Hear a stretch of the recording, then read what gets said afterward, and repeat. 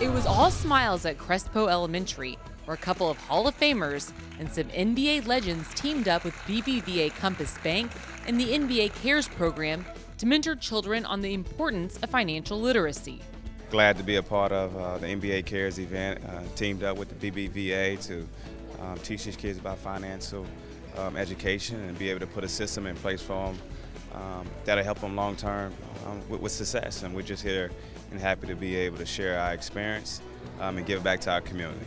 You know, the common theme is always about education, and the NBA Cares really does care, uh, along with BBVA Compass, EverFi. I mean, they got some great corporate sponsors to make sure that these kids get everything they need, not only in the classroom, but today we're talking about financial literacy, financial education. Yeah, a great skill to have all through your life. You make good grades in your classroom, your parents are happy, they're proud of you, and you feel good about yourself, right? Yes. Yeah. For Drexler, teaching these children the importance of math and financial stability was especially significant because it was an event that hit close to home.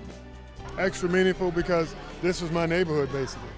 And so I was one of these kids years ago, maybe a couple years ago, uh, well, maybe a little longer, but uh, it's great to see uh, when, whenever you reach out and touch the kids in the community, you know, it just lets them know that people that they see on TV, people that they see when they go, you know, to the bank or wherever they go with their parents, actually come to their school and talk about some of the things that you do.